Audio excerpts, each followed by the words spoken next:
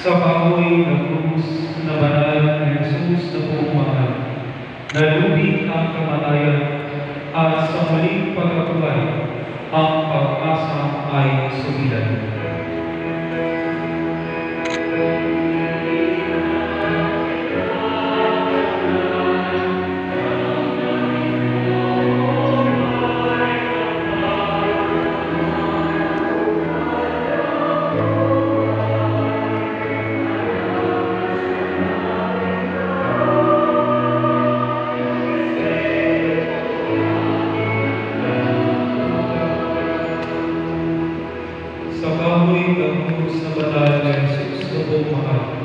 Nalubig ang kamatayan at sa muling pagkabuhay, ang pag-asa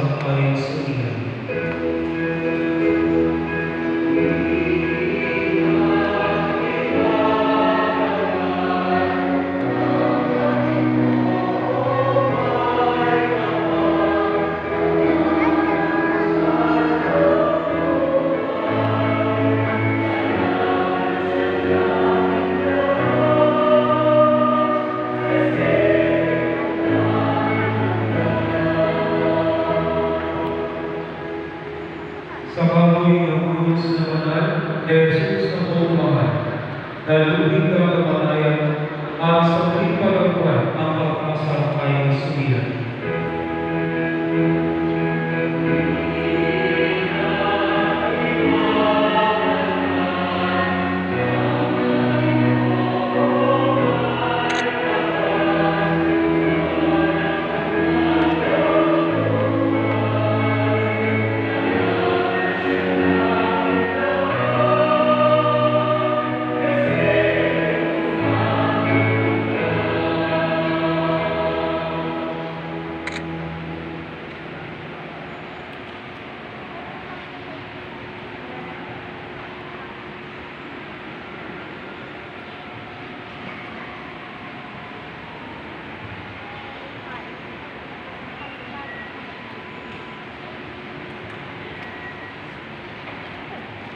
Ngayon po ay gagawin natin ang veneration of the cross.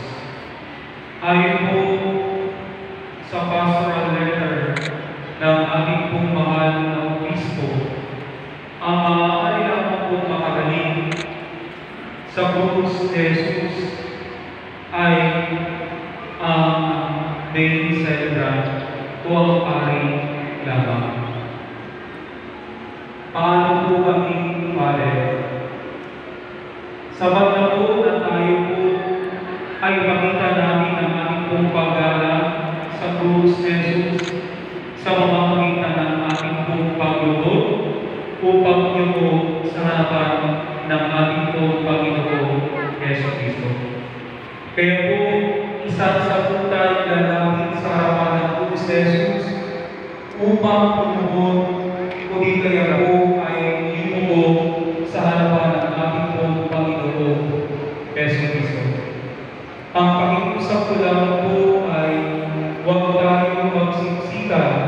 panatilihin po namin ang social distancing. At pakisuot po